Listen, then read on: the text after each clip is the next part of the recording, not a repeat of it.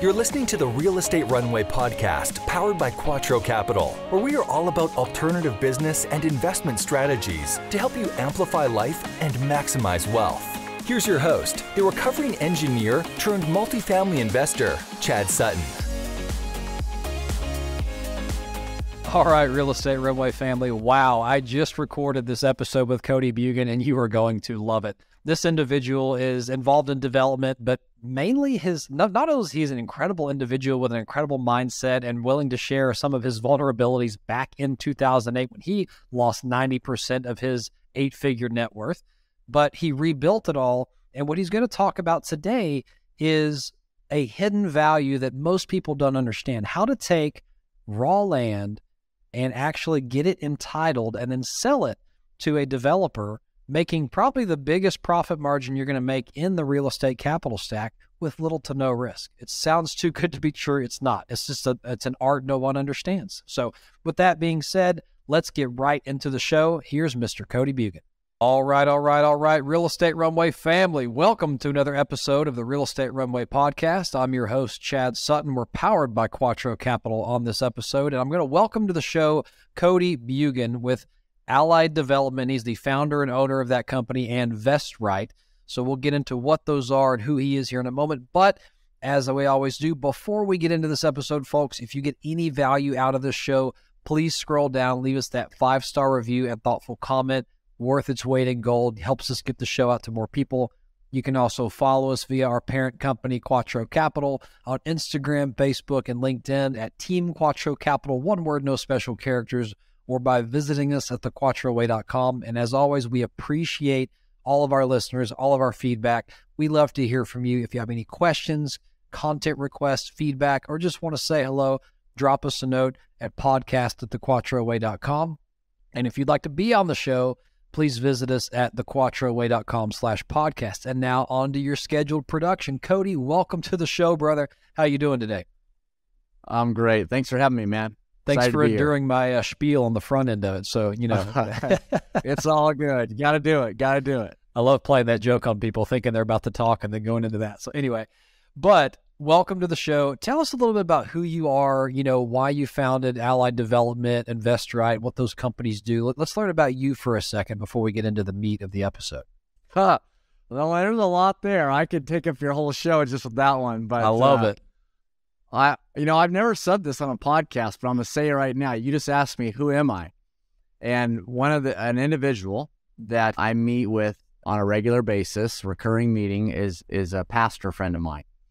And we started meeting. Uh, I, I selected five individuals to start doing these meetings with every two weeks because, to me, if it's not scheduled, it probably won't happen.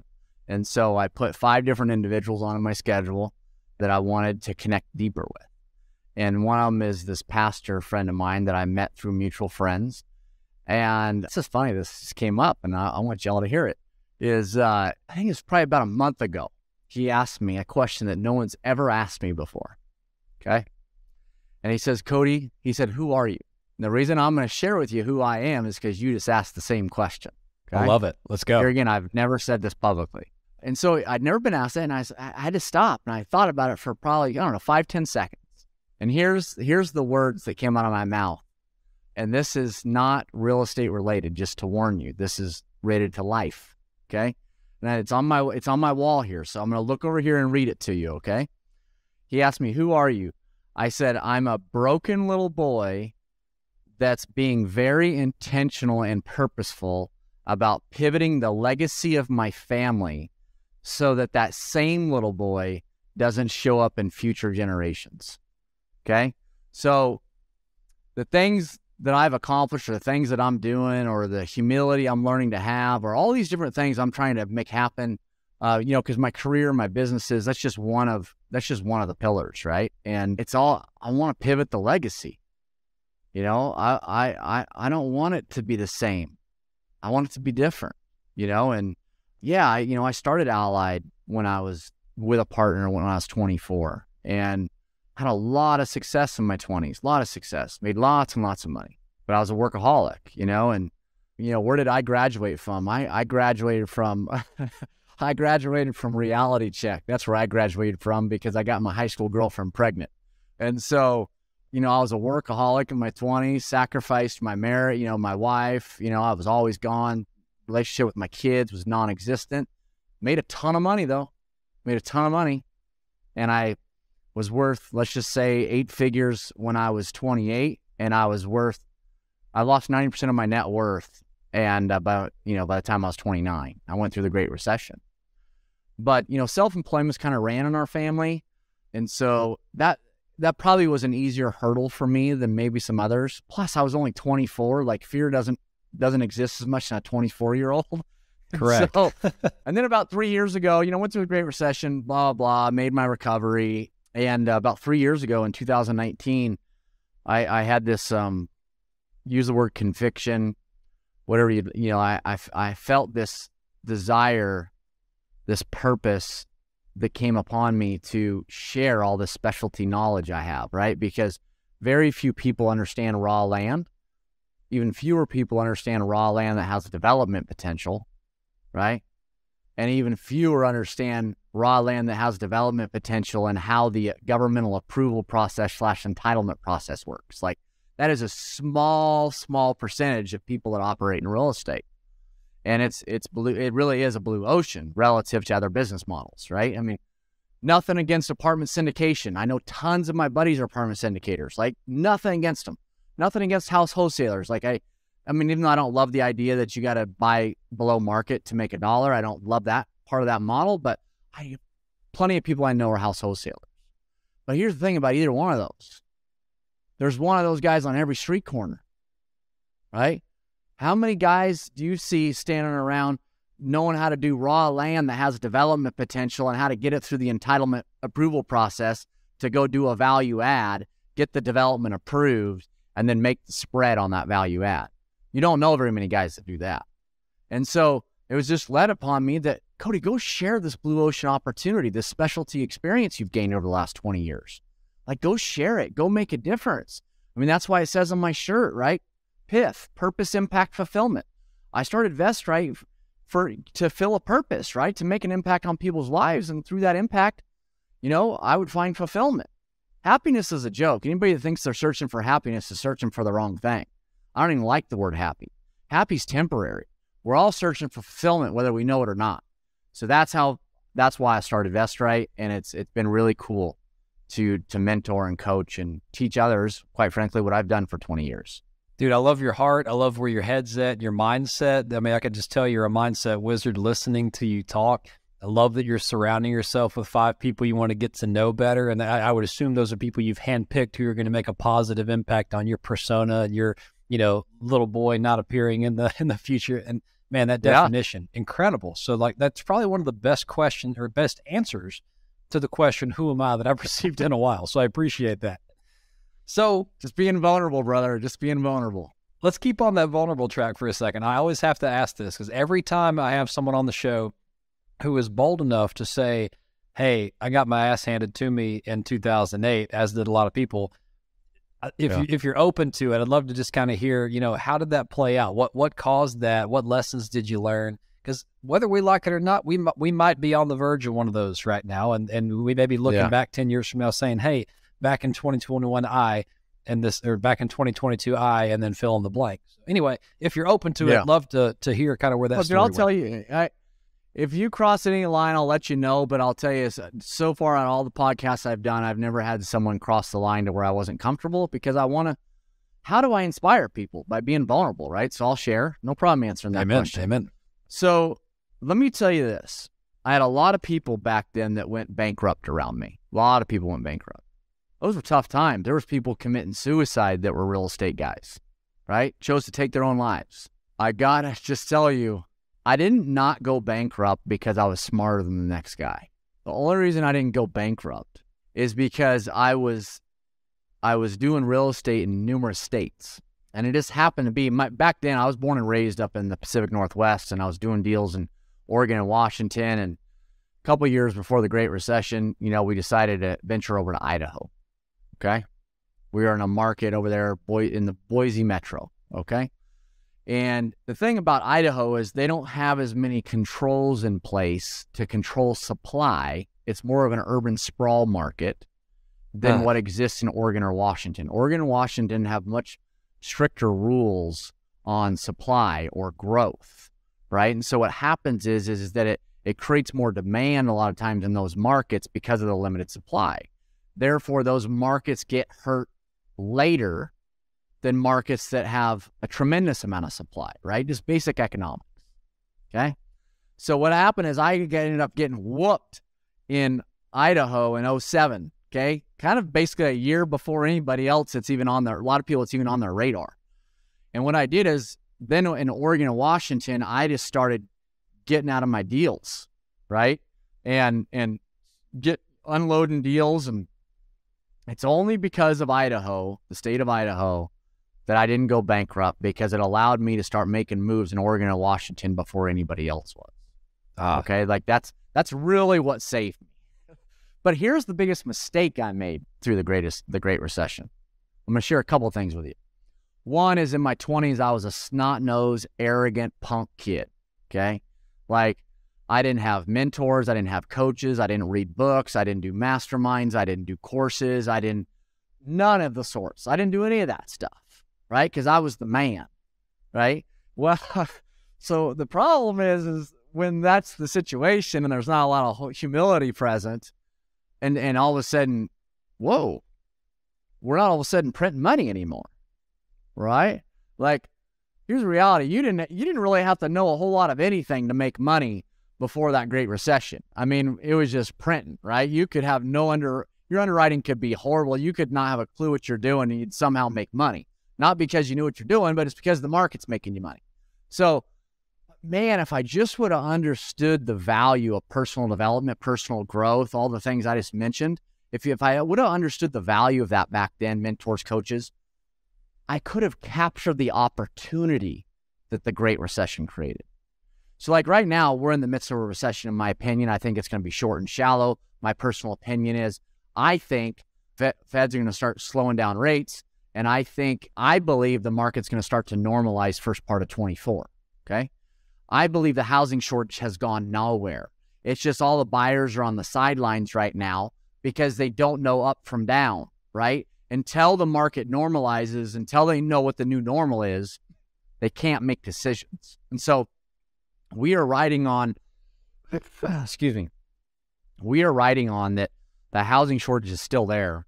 And we're trying to pick up very, very talented people during this time because middle of 20 to middle of 22, good luck finding talented people. It was very, very difficult. Okay. Right now, we're picking up talented people. That's the first opportunity we're trying to capture. Second opportunity we're trying to capture is fill our pipeline of deal flow because a lot of the guys that were out there doing, quite frankly, stupid stuff, price and terms, those guys are getting spanked right now and they're running for the hills.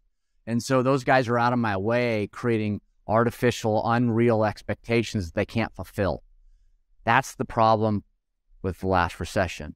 I didn't know, hey, this is the time to actually go build an amazing team. Oh, wow, this is the time to go pick up these deals. Yeah, people, it's on other people's misfortune. They used to call it quote, quote, and I, I don't love this saying, but blood in the street.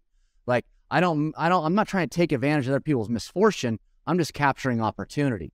Is that I, in my opinion, based upon what I've observed, a whole lot more wealth is generated in a down market than in an up market. That's my answer for you. You know, you have a mic sitting there on your desk, right? If you'll if you'll pick it up and just drop it for me real quick, that was just a fantastic. Uh, sorry, mic drop. sorry, just wiggling his mic on the TV. So no, I love everything you just said there, and you know, particularly the one about being coachable and and not recognizing that you know recession. You don't want to waste a good recession. Let's put it that way, because Mhm. it's unfortunate that some make bad decisions and come upon misfortune, but when money is cheap, that happens. And that's what's been happening to an accelerated degree. But one thing Mhm. I've never heard before, and I really respect you for saying it, is now is the time, at least in this particular pre recession or recession time, because the labor market has been so tight, you know, caused by things we won't get in on this show. Human capital, like good people, Wow. this is the time to scoop them up. And that is just brilliant Yep. because, yes, as the labor market is starting to loosen, and I, this will be worse in Uh-huh. 2023. Mark my words. The labor market is loosening. You will not have 700,000 job openings in 2023 because hiring decisions are being Mhm. made right now. wow, that is just some amazing foresight. So thank you for that, Cody. I appreciate that. Yeah, and I'll even take it one step further related to real estate. There's a lot of companies right now that are sitting on their hands. Yes. Or even backpedaling, right? The people we're picking up are currently employed. Okay. But what happens is, is that a lot of these people are on performance pay.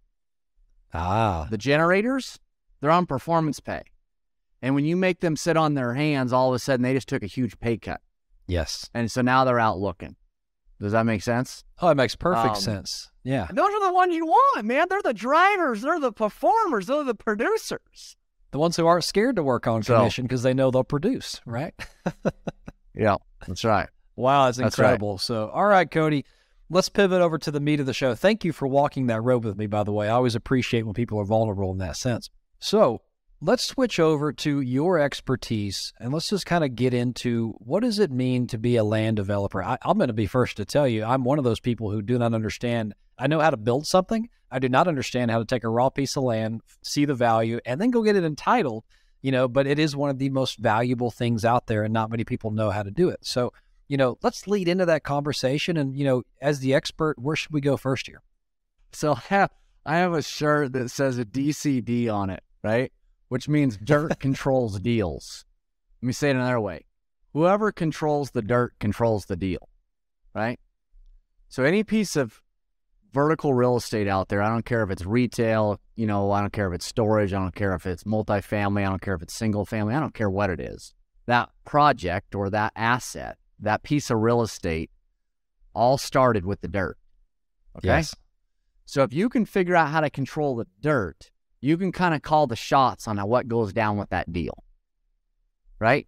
Maybe you want to keep it all to yourself. Maybe you want to bring in partners. Maybe you want to sell it but take take equity in the deal. Maybe you want to sell it and just make a payday. You decide what you want to do. Okay? But here's the thing, there's a lot of people out there, not a lot, there's a few people out there teaching how to go find raw land, rule raw land and sell it and make a few bucks. Okay. What we're teaching is how to go find raw land because majority of all of our deals and what we teach at VestRight and what we do at Allied is is off market. So almost everything we do is off market. And that allows us to to to have a lot more control over our own deal flow, right? Deal flow is key. If you don't have deal flow, nothing else matters. And if you're just sitting around waiting for things to hit the market or for real estate agents to call you, you're not in control of your own deal flow. Okay, so first thing is off market. Second thing is yes, it's raw land, but it's raw land that has development potential. Here again, that could relate to any asset class multifamily, single family, storage, retail, I don't, whatever. Okay. Does it have development potential? Okay. And there are certain things that you need for development potential. And we're just going to stay on the tip of the iceberg right now. But, you know, I, I talk to people about, okay, what's the zoning? Right? What is the access? Is there is there public access to the property? Right? People got to be able to get to it if you're going to develop it. Right? Does it have public utilities? Right? Sanitary sewer and water and so forth. Right? What kind of overlays are on the property? Meaning it might look like a great piece, it might have access, it might have utilities, but gosh, it has an environmental overlay on it where you can't even do anything with it. You know, and so what are the overlays? And then lastly, the topography of the property. Topography of property, flat versus upsloping, downsloping, changes the development potential of a piece of property substantially for several different reasons that we won't get into now. But those are the five basic points that I tell people to be able to, you need to understand those five concepts just to get the tip of the iceberg of what makes a piece of property potentially developable. Okay. And so we are in the value add business. Okay. And what value add, and we've all heard that term, right? A lot of guys are in multifamily value add where, you know, they, they, they, you know, go in and they improve the NOI of a piece of real estate somehow, right? The net operating income. And that could be through decreasing costs or increasing rents or whatever it may be. We're in the value add business related to raw land because what we do is we're not out there wholesaling these deals just trying to make a quick buck. We're going out and tying up a piece of raw land that has development potential and we're taking it through that whole governmental approval process or entitlement process to turn it into an actual approved development. And what we teach and what we do the majority of the time is that's when we exit. Okay. We will sell it to the multifamily developer or the DR Hortons or Lennars or Pulte's or KB's, all these publicly traded home builders, we will sell it to them at that point. And we usually will do what's called a double closing or simultaneous closing. And so we'll use our buyer's money to pay our seller and we'll make our scrape out of the middle. Okay. And so that's a way to get into the space without a ton of capital or without a ton of risk because you're really not carrying the land. You're not closing on it. You only own that land for a split second. Okay. Because if you're going to go pay development values for land, don't make the rookie mistake that people do that get into the space and aren't educated. Never close on development land where you're going to pay development values and close on it prior to actually having the development approved. Because until you have that development approved, all you have is whatever you see sitting there right now. Okay. So if there's anything you could gain from me, don't go pay development values for dirt without the development being approved first. And that's why our average deal, you know, we might have a deal tied up. We, we might have a deal that takes us nine months to close or 18 months to close. Like it just depends on where in the country and the jurisdiction and this, that, and the other. But, and so that's a component of the land development industry, right? Then if you decide you, you can close on the dirt and you can go put in all the streets and infrastructure and utilities and all that and just do the horizontal construction or horizontal development, you could stop there or you could do the vertical too. I mean, there's there's so many different stages of the process.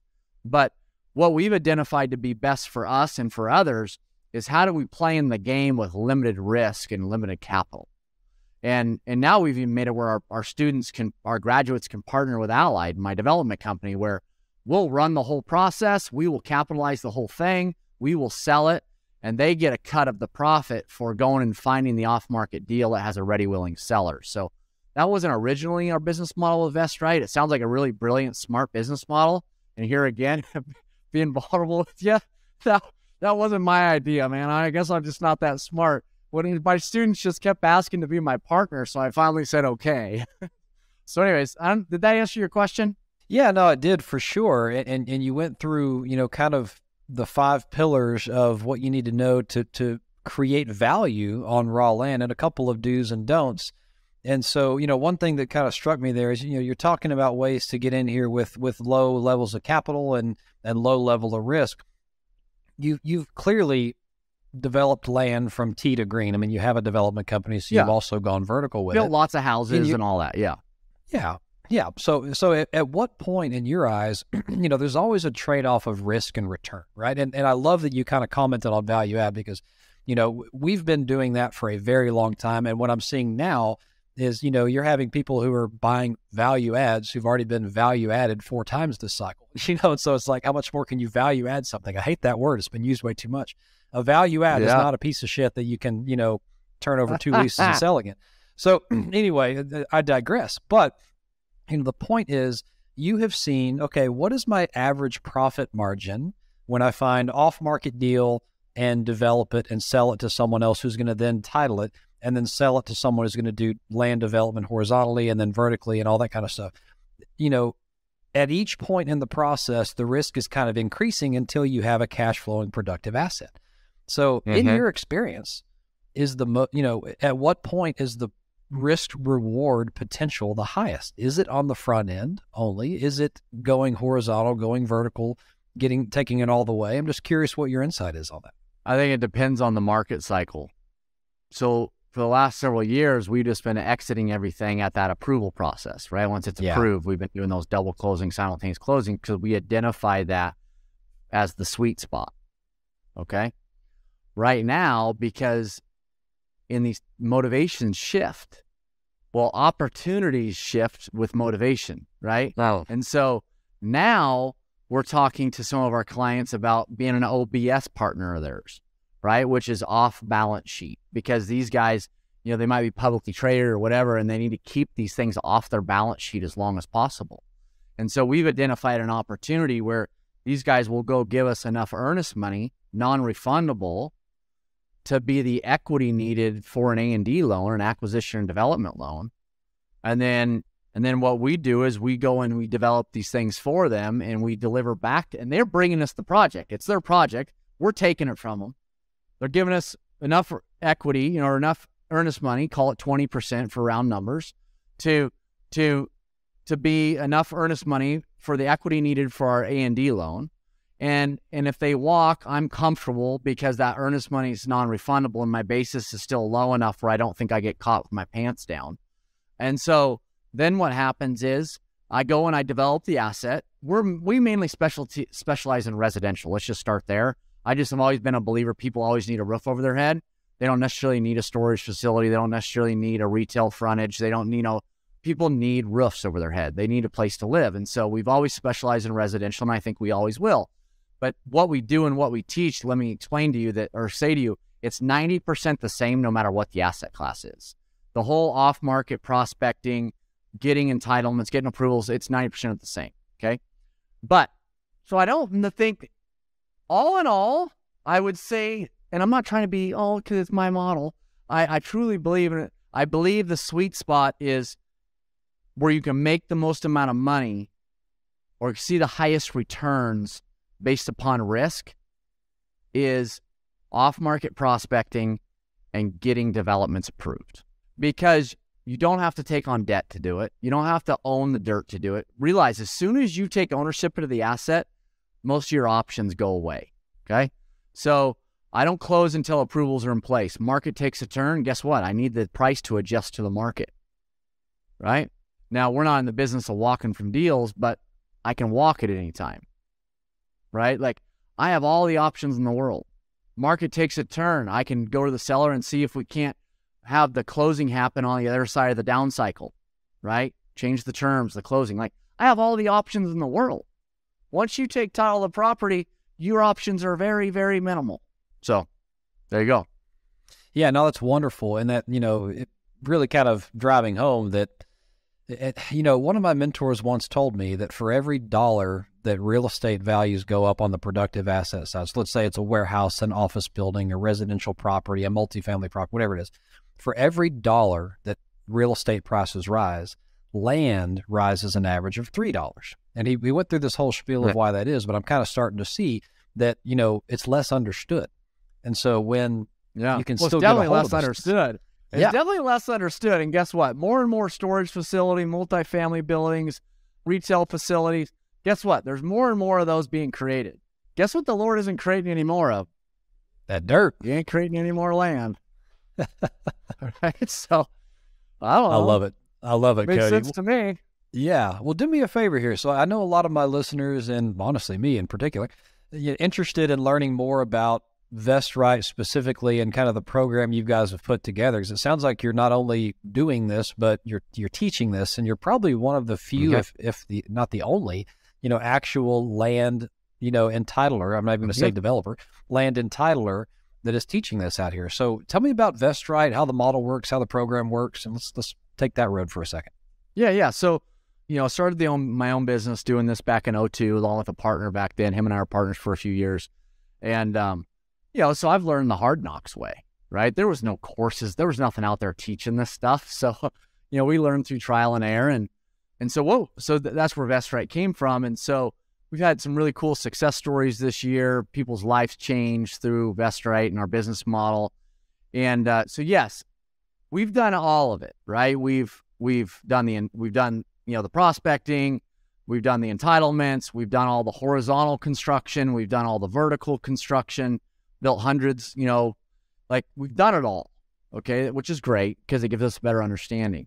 But what we teach in VestRight is where we think our specialty knowledge lies or where we can bring the most value to our, you know, to our students.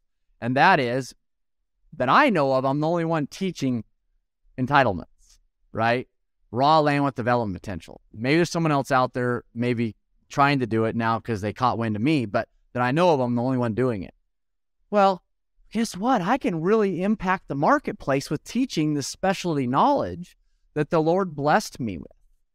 And so we don't get into teaching you the horizontal construction, even though we've done a ton of it, as far as, you know, the pipe and the roads and the infrastructure and the street light. We don't get into, you know.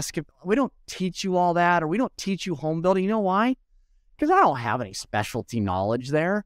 That stuff's a dime a dozen. Go grab a textbook or go do a college course or go like, we don't even go there because we don't bring value there. Okay. Where we bring value is teaching off market prospecting, how to identify raw land that has development potential, and how to get that stuff approved. Okay.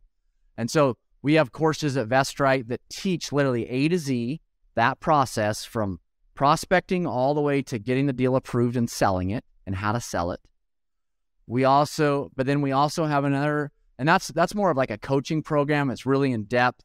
Um, you know, our refund rate, chargeback rate is basically non-existent just because we packed so much into that. And then because people kept asking to partner with us, we went and created another course called LPU, which is Land Prospecting Unleashed, where we teach you how to how to identify raw land that has development potential off market and how to go and tee up those deals, right? To try to find ready, willing sellers, property owners, and then you bring those deals to Allied as your partner, and we'll ink the deal with the property owner. We will run the entitlements, we will sell it, and we'll capitalize the whole thing, and then we'll cut you in on the profits. So that's the, our most recent program, just based upon people keep asking.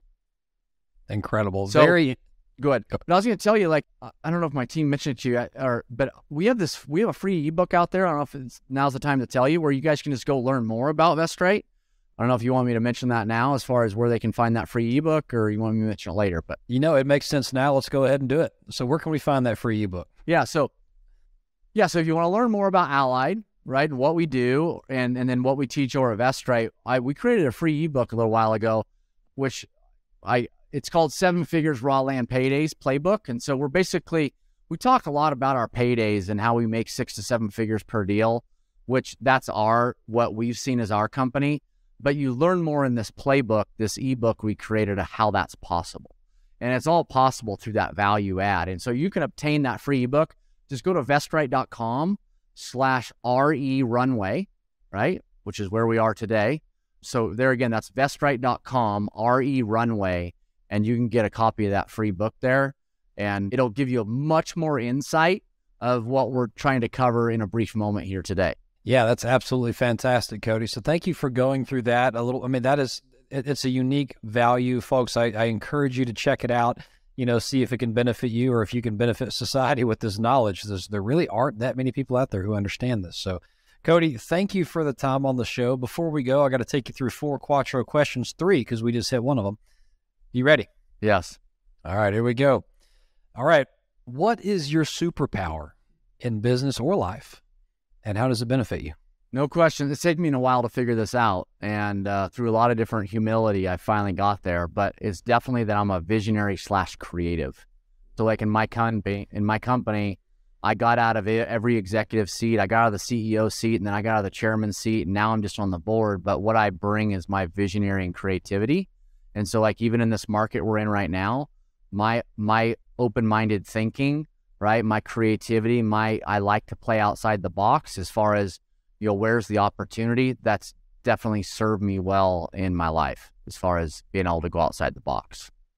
Yeah, that's incredible. And recognizing that, I think, is incredible as well. Most people never get out of the operator mindset into the owner mindset. Yeah. So kudos there. Yeah, I was definitely holding my company back. The biggest problem with my company was me you know, I had to get out of the way to allow my company to go get what it deserved, you know, or what yeah. the opportunity was. Yeah, I totally get it. That, that that is, I mean, the aptitude and the mindset of the of the operator can can wind up inhibiting the business. So I love that. Let's flip the tables. What is your biggest mistake in life or business? and what did you learn from it? So I definitely don't. I usually try to. Well, I'm glad you said. what did you learn from it?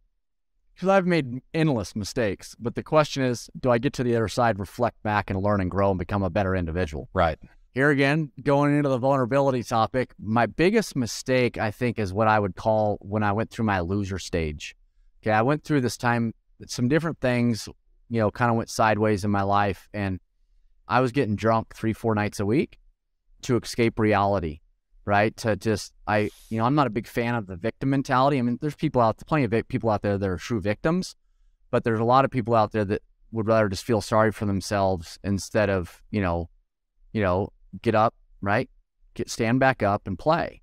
And I went into a time where I was a complete hypocrite and and I took on a victim mentality. And I, I call it, like I said, my loser stage where I was getting drunk three, four nights a week to escape reality. And that went on for, you know, um, probably three years, almost four years. And then I finally snapped out of it through some different things. But what I learned from that is that guess what? This world doesn't sit around waiting for you. Okay. You know, if you were to use it in, a, you know, like this, pretend it's a race for a second, and I don't, and I don't think it's a race, right? I'm not in competition with you. You're not in competition with me. It's one of the reasons why I've cut social media actually out of my personal life, because here again, being vulnerable, I had a tendency to go onto social media and start comparing myself to everybody, and it just wasn't healthy for me, and so I had to cut it out, and just, just I just had to because you're only in competition or in comparison with yourself. That's why I recommend everybody go read the book, The Gap and the Gain. If you haven't read it, read it. And you need to learn to live live in the gain and not the gap. And so, so anyways, before I went into my loser stage, I was leading the pack. Okay, just for illustration purposes. By the time I came out of my loser stage, I was trailing the pack. Right? Is that no one's sitting around waiting for you. Right? This this world moves at a very fast pace and I really came to realize that because I took for granted how I where I was at, and um, I've done played the last several years, several years, kind of getting back on track and feeling good now. But but uh, I had to dig myself out of quite the hole. Yeah, I love that. Thank you for sharing that. And by the way, that book will be down in the show notes. Just scroll down on whatever device you're listening to; it'll be right there. Question number three was going to be about the free ebook, but as we mentioned, go to VestRight dot com slash re runway and you'll find his what was it seven things to roll in? Uh, yeah so it's seven so i i get it confused all the time too. My team creates all the titles but seven seven figure raw land paydays it's a playbook but it's all about how we're able to generate these seven figure paydays in our business model. There it is. Thank you for that. So i, I just flipped over and read yep. it and i still couldn't remember it so that's okay all right, question four. You know, Quattro is built on four principles, one of them being philanthropy people, property, profit, and philanthropy. And so, what I love to do on the show is give our guests an opportunity to mention your philanthropic heart. A lot of times, our guests have gone and contributed alongside to a cause that they feel, you know, compelled and, and empathize with. So, what is that for you? I'd love to, to give you an opportunity to share that. Yeah. So, I'm a man of faith, love Jesus, right? We don't need to go there now, but my wife's had a v- huge heart for victims of child trafficking for longer than me. And a few years ago, it really rubbed off on me and became a very close cause that I wanted to be a part of making a difference. And it came very close to my heart. So that as a family, we're very much united in that space. And, and we've supported a lot of different nonprofits in that space. But, you know, recently I had an opportunity to spend a little bit of time with Tim Tebow. And man, just that guy um, he is he he's an amazing man. I respect him so much that he has never wavered from how he believes, no matter how much press he got and how much he was taking hits, he never wavered. And so the the foundation I would so the cause I'd bring up today or the charity would be the Tim Tim Tebow Foundation. He's accomplishing amazing things in the child trafficking space, and uh, I'm just honored to to to be able to support him in that and be a part of that with him. Yeah, I really love that you mentioned that. I've also supported that one personally. That that's a uh, it, honestly anything children related is near and dear to my heart, but especially ones who are forced into a hand that they can't control, and so oh. that is uh, it, it's sickening. But thank you for sharing your heart there. Cody, yeah. it has been a spectacular episode having you on. Your energy, your mindset, your your vulnerability, as well as you know, this just a very unique value that you bring to this world. So thank you for coming on on behalf of the Real Estate Runway team. Really enjoyed it, my friend. Thank you so much for having me. My pleasure. All right, everyone. This has been another episode of the Real Estate Runway podcast. Until next time, over and out.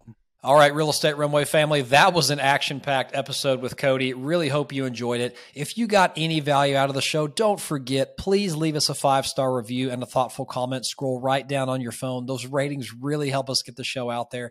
And as a reminder, you can follow us on Facebook, LinkedIn, and Instagram at Team Quattro Capital, one word, no special characters, or by simply visiting us at thequattroway.com. Until next time, over and out. We hope this episode was insightful and brought value to your day. If so, please be awesome and leave us a five star review. Find out how Team Quattro can help you at thequattroway.com. Until next time, this is the Real Estate Runway Podcast.